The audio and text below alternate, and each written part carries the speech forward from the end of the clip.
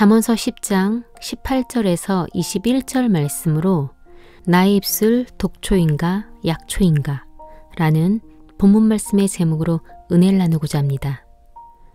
독초는 독성이 있는 풀로 인체에 치명적이라 사람을 죽일 수도 있는 풀이고 약초는 약으로 쓰는 풀로 질병의 예방과 치료로 사람을 살릴 수도 있는 풀입니다.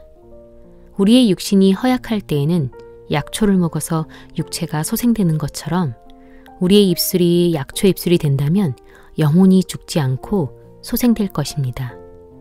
사람들은 기쁘고 즐거울 때는 찬송이 나가는데 괴로울 때는 저주가 나간다고 야고보서 3장 10절 말씀에 한 입으로 찬송과 저주가 나는도다라고 말씀합니다. 그러면 나의 입술은 독초인가 약초인가 체크해 보시기 바랍니다. 첫째 독초 입술의 첫 번째는 거짓 입술을 가진 자입니다. 본문 18절 말씀에 미워함을 감추는 자는 거짓의 입술을 가진 자요 라고 말씀합니다. 즉, 미워함을 감추면서 안 그런 척하고 말을 한다는 것입니다.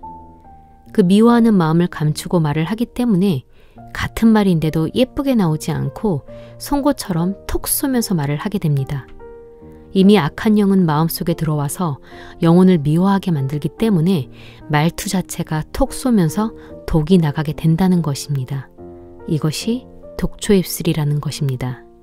과연 우리는 독초의 입술일까요? 약초의 입술일까요? 요한일서 4장 20절 말씀에 하나님을 사랑한다고 하면서 형제를 미워하면 거짓말하는 자라고 말씀합니다.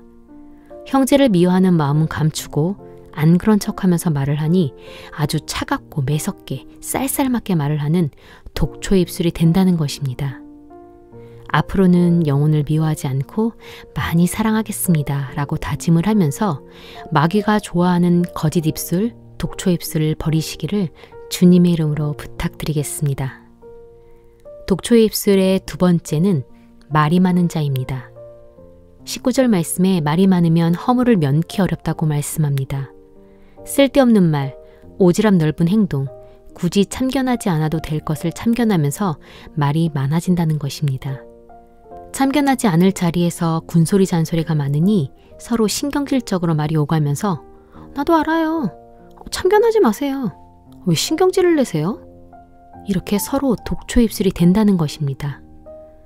일상생활에서 입술의 열매를 맺어야 복을 받을 수 있다고 히브리서 13장과 잠언서 12장에 말씀하고 있습니다. 히브리서 12장 15절 말씀에는 쓴뿌리로 많은 사람이 더러움을 입을까 두려워라고 말씀합니다. 우리들의 말 한마디 한마디가 하늘의 생명책에 기록되니 독초의 입술로 영혼을 죽인다면 하나님 나라에 가서 반드시 심판대에 앉을 것입니다. 내가 쓸데없이 말을 많이 하는 독초 입술을 갖고 있었다면 앞으로는 영혼을 살릴 수 있도록 독초 입술을 다 버리시기를 주님의 이름으로 부탁드리겠습니다. 둘째, 약초 입술의 첫 번째는 입술을 제어하는 자입니다. 19절 말씀에 입술을 제어하는 자는 지혜가 있다고 말씀합니다. 지혜가 있는 사람들은 말이 많거나 거짓 입술을 놀리지 않는다는 것입니다. 상대방에게 안 좋은 소리를 들었을 때 입술을 제어하지 못하니까 듣는 순간 성내기를 순식간에 합니다. 잠언서 12장 16절 말씀에 미련한 자는 분노를 당장에 나타내지만 슬기로운 자는 수욕을 참는다고 말씀합니다. 상대방이 나에게 안 좋은 말을 했어도 아, 집에 무슨 일 있었나 보다. 아, 누구와 싸웠나? 라고 생각을 하고 입술을 제어할 줄 알아야 한다는 것입니다.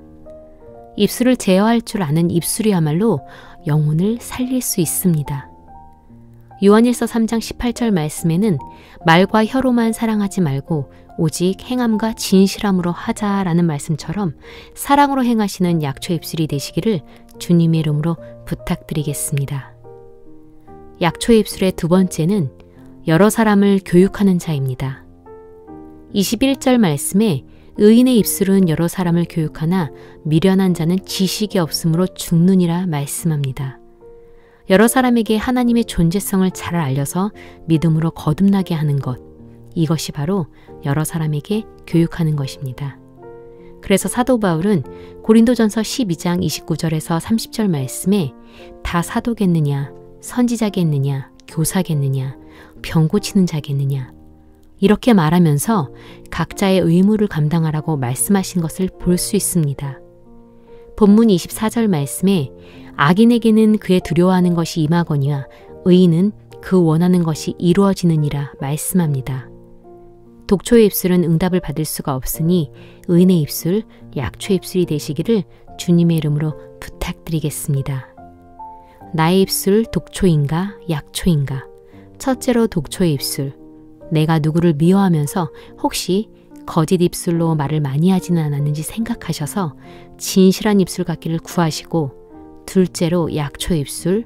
입술을 제어하고 여러 사람을 교육하면서 믿음의 본을 보이고 의인의 입술이 되어 고린도전서 15장 45절 말씀에 아담의 영은 사는 영이고 예수 그리스도는 살려주는 영이라는 말씀처럼 많은 영혼들을 살려주는 약초의 입술이 되셔서 하나님께 칭찬받고 구하는 것마다 축복으로 다 받으시기를 주님의 이름으로 부탁드리겠습니다.